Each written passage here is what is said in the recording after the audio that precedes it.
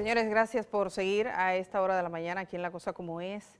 Uno de los temas que tenemos pendientes en este país es el tema de las pensiones. El sistema de la seguridad social tiene tres patas y la gente no está pensando en esa tercera que es las pensiones, piensa en la salud. Si usted tiene un carnet, va y dice, bueno, mi problema con la ARS, si me pagan el medicamento, si me recibieron, cuánto me pagaron.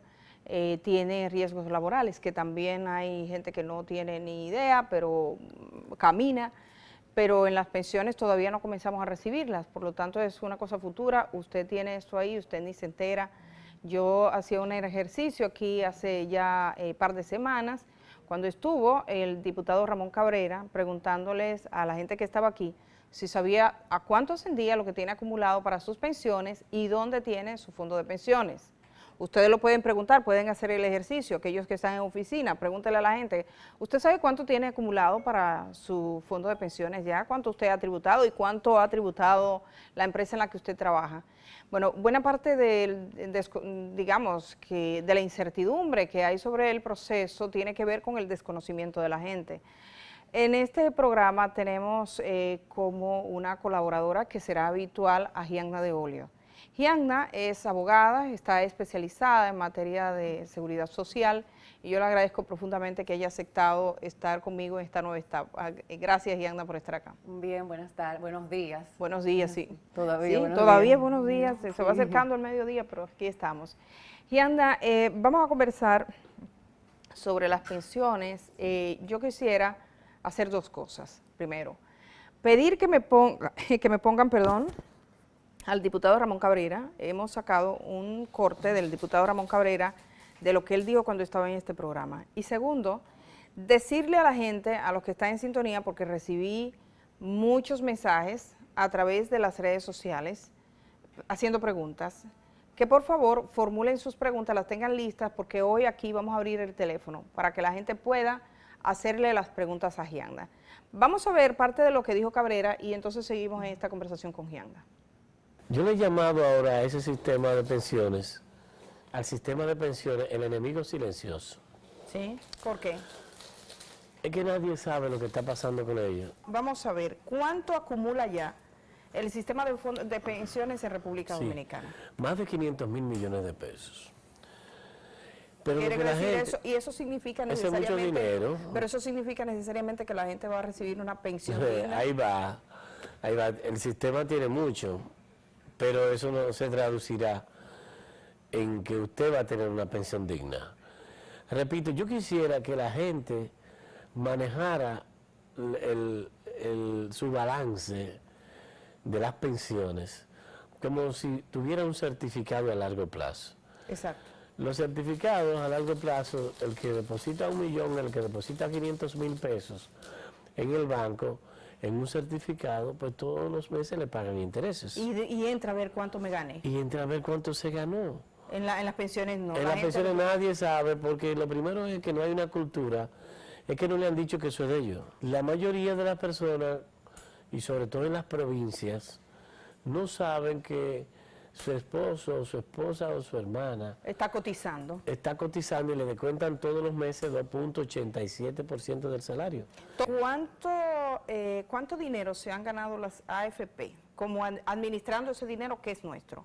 Bueno, las AFP se han ganado en 10 años 579 millones de dólares. Eso significa más de 28 mil 700 millones de pesos. Solamente hay 21 personas pensionadas por... ¿En la actualidad? Sí, 21 ¿En personas... En, más de 10 años? Sí, en más de 15, 17. 17 años. ¿Solo cuántas personas? 15. 15 personas. Bueno, hay varios temas ahí que se plantean. Vamos a hablar aquellos que afectan a, a, la gente, lo que va a recibir como pensión. El tema de que, por ejemplo, si alguien fallece, está acumulando en su fondo de pensiones, pero la familia lo ignora. ¿Qué pasa con esos recursos? Bien, eh, lo primero es eh, hacer unas precisiones en cuanto a cómo funciona el sistema actual y que todavía también permanece lo que es el sistema de reparto para las personas que trabajan en el sector público. No todos, algunos que permanecieron en ese sistema. Entonces, ¿qué tenemos actualmente? Porque es algo que todavía está vigente y puede haber personas que, que, tengan esa, esa situación. Entonces, eh, con la ley 8701 se creó un sistema de capitalización individual. Esto quiere decir que todas las personas que trabajan aportan a su cuenta para cuando llegue la edad de retiro tener una pensión por vejez. Aportan una cuenta a su nombre en una FP, que la FP tiene la misión de trabajar con ese dinero para que se incremente. Ese es un tipo de pensión. Eh, paralelamente existe el sistema de reparto para las personas que trabajan en el sector público y que cotizan por la ley 379, eso sigue vigente. Este es un sistema de beneficio definido donde todo el mundo aporta un fondo común y cuando llegue la edad de que la persona ya se pueda retirar, y el tiempo también en este caso, entonces va a tener una pensión de un porcentaje eh, establecido. Pero también están las pensiones que sí era la que él se refería al final, que son las que pueden ya se están dando los casos, que es una pensión por discapacidad o por sobrevivencia, que es la que tú comentabas si fallece eh, un afiliado, ¿qué pasa con la familia? Entonces tenemos estos, esa es la situación actual. Con relación a la pensión por vejez, eh, que va a ser cuando la persona ya tenga 360 cotizaciones y 65 años. Entonces, lo que hemos visto es que actualmente las proyecciones es que serán unas pensiones muy bajas. Sí. Eso es lo que, lo que preocupa. Habla del 25% del salario. Eso es la, con la tasa de reemplazo proyectado el 25%, de 20 a 25%. Entonces, eso es lo que preocupa, que realmente son unas pensiones muy bajas, pero esto depende de muchos factores porque dependen de los salarios. Porque como explicaba, esto es lo que tengamos en nuestra cuenta, o sea, va a ser con lo que hemos acumulado en la cuenta, nuestra cuenta de capitalización individual. Cuando lleguemos entonces a la edad de retiro, con eso es que no van a pensionar. Diferente es el caso de las pensiones de discapacidad. Del descuento que se nos hace va un porcentaje a un seguro de discapacidad y sobrevivencia. O sea, ese es otro. Otro, otro, capítulo. Exactamente. Entonces, si yo me enfermo y quedo que no puedo trabajar y estaba cotizando, ¿qué pasa ahí?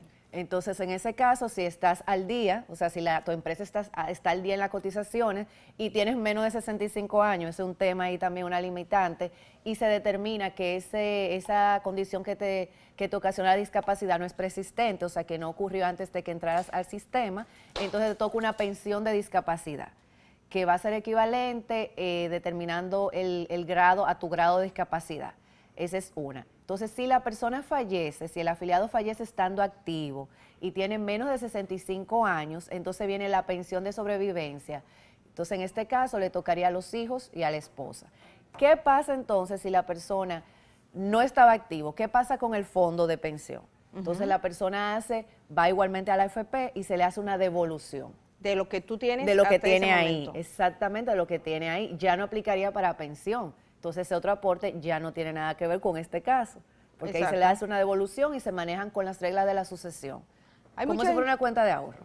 Sí, hay mucha gente que tiene interés, por ejemplo, la gente que pasa, que entró ya de mucha edad, que entró de 50 años, 45 años, que no va a tener el tiempo suficiente para acumular. Cuando cumple 60 años, quiere su dinero. Eso mucha gente, muchos dominicanos dicen, yo quiero mi dinero, mejor que me lo den incluso hasta lo que no tienen la edad, claro, dicen, pero ayer hablaba con una persona que decía, yo entré con 42, o sea, no califica para devolución. La ley establece el caso de la devolución por ingreso tardío. Esto es cuando la persona entró con 45. Aquí otra precisión, no es que tenía 45 cuando comenzó la ley, no.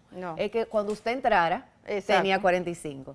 Entonces, en ese caso, la persona debe cumplir con ya tener 60 años tiene los 60 años y también hay otra condición y es que debe estar tres meses fuera de la nómina, o sea, ya tres meses no están cotizando ni estar trabajando. Entonces, cuando ya tiene esas condiciones, entró con más de 45, ya cumplió los 60 años, ya no está trabajando. fuera de la nómina. Exacto, fuera del registro en la TCS. Entonces ahí se dirige a su FP, se hace un procedimiento y le hacen la devolución entre un plazo de 7 a 10 días generalmente.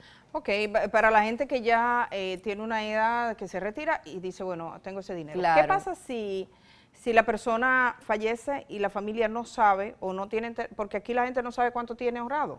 ¿Cuánto dinero, que es un ahorro suyo? Claro. Y no va y lo reclama a tiempo. ¿Cuántos años que tiene? Mira, si la persona fallece estando activo, y la persona no va, o sea, hay un plazo de siete años para reclamar la pensión, pero ojo, para reclamar la devolución, que es lo que está en la cuenta, entonces para eso no hay ningún plazo, porque eso es como tu cuenta de ahorro, como en un banco, como que la persona fallece y también dejó cuentas en otros en bancos. Entonces los, los descendientes van a la AFP, tiene que cumplir con todo un procedimiento de llevar todos los documentos, ya sabe que si acta de, defunción, matrimonio, actas de nacimiento y toda esa documentación, entonces también hay que pagar los impuestos sucesorales porque es como una sucesión. Entonces ahí le van a devolver.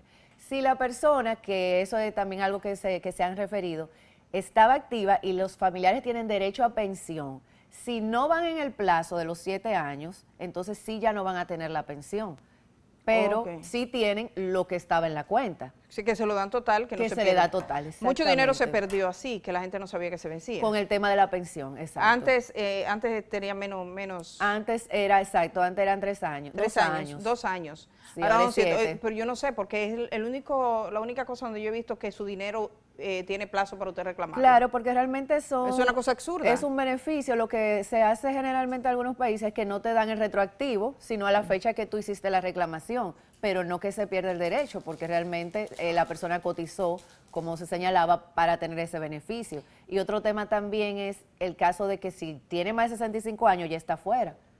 Mírenle a la gente, eh, tienen ese teléfono que está ahí en pantalla. Eh, pueden llamarnos a ese número 809-537-0045 y preguntarle a Agenda de Olio. Le he mandado al productor nuestro un número que es para llamar a un señor que ya nos ha manifestado eh, su denuncia desde hace varios días. Entonces quiero que él mismo lo diga. Es un poco complicado. Básicamente entiendo lo siguiente. Él es una persona joven, trabajó en el Estado Dominicano y dice, y está operado del corazón le tocaba por discapacidad, asumo. Sin embargo, no recibió su pensión. Dice que no recibió pensión.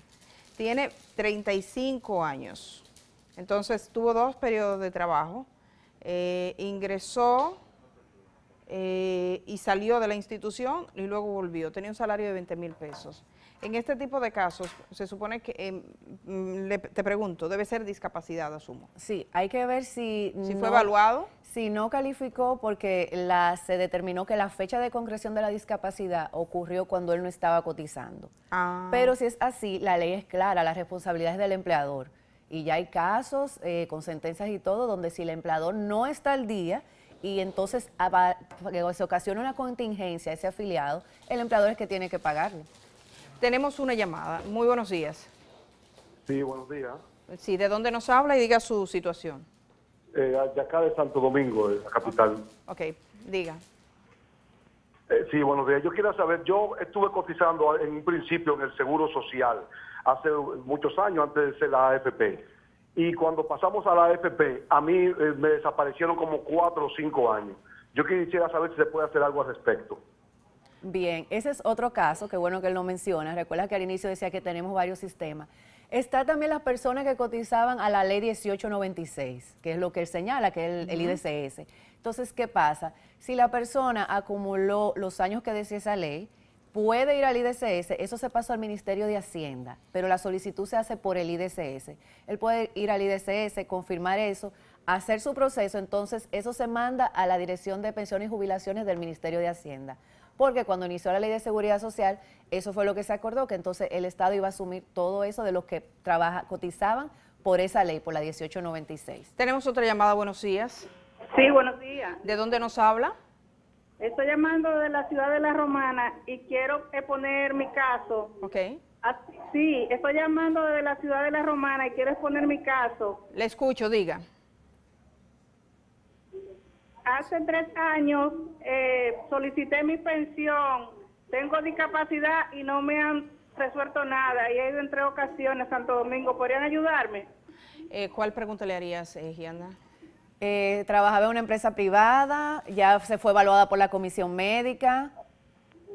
Trabajé en una empresa privada y fui evaluada.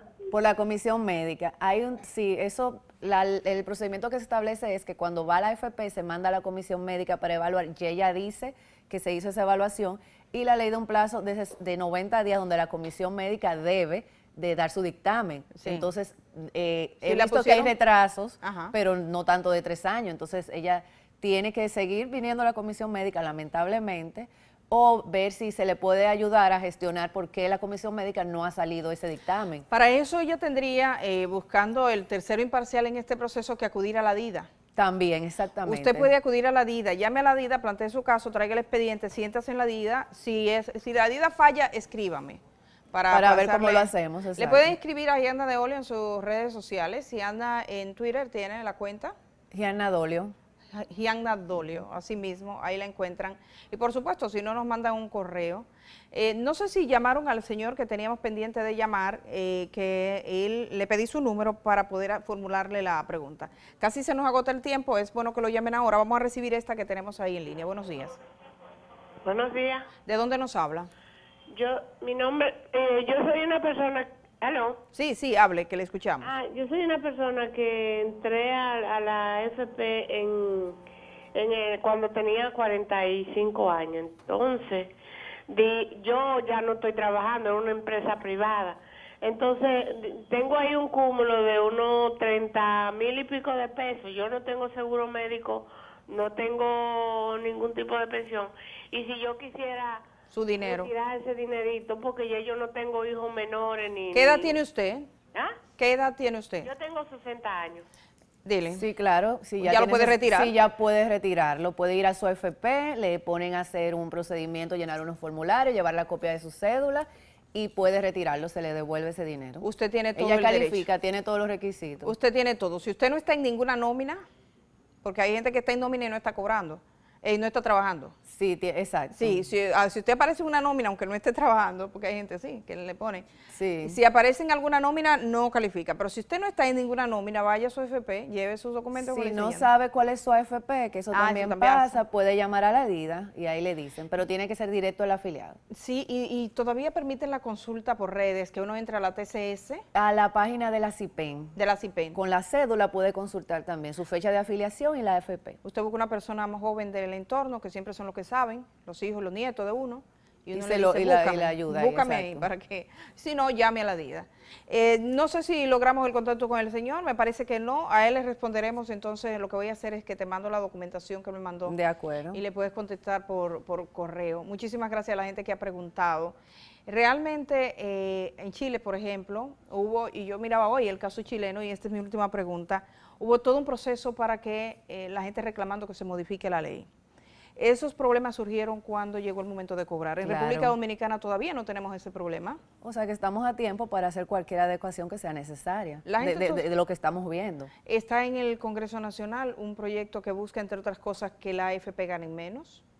Eh, bueno, sé que hay algunos proyectos de modificación a la ley, no tengo el conocimiento de qué exactamente se está buscando en la parte de pensiones, pero lo ideal sí sería que se trate de, de, yo diría, de tener un sistema en el que tengamos una base, o sea, una pensión mínima garantizada, y luego entonces tenemos, tengamos los aportes complementarios por la CCI. Que ahora no lo tenemos. No, ahora tenemos el sistema de CCI, exactamente. Que es personal, nada más. Así es. Gianda, muchísimas gracias. Busquen a Gianda, Gianda de, de, de, Olio. Dolio. Dolio, así, Gianda Dolio.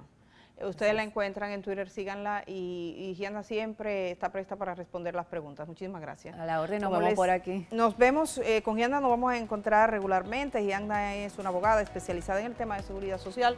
No hay mucha gente así. A la gente que lee cómo tienen asegurado los artistas su vida, preocúpense por lo suyo y verifiquen a ver en qué AFP se encuentran, cuánto es el dinero que tienen y díganselo a la familia, porque a veces la gente no ni tiene idea. Esto es un problema de educación, básicamente. Hacemos el cambio, cuando regresemos nos faltan dos temas. Tenemos a Carolina Santana, hoy es Día de la Niña. El UNICEF ha mandado una carta al listín diario por la cobertura del caso de la hijastra de Pablo Ross. Vamos a hablar de eso con Carolina, pero también tenemos a un mayor general que ya está retirado para hablarnos de la empresa de seguridad y particularmente de la suya.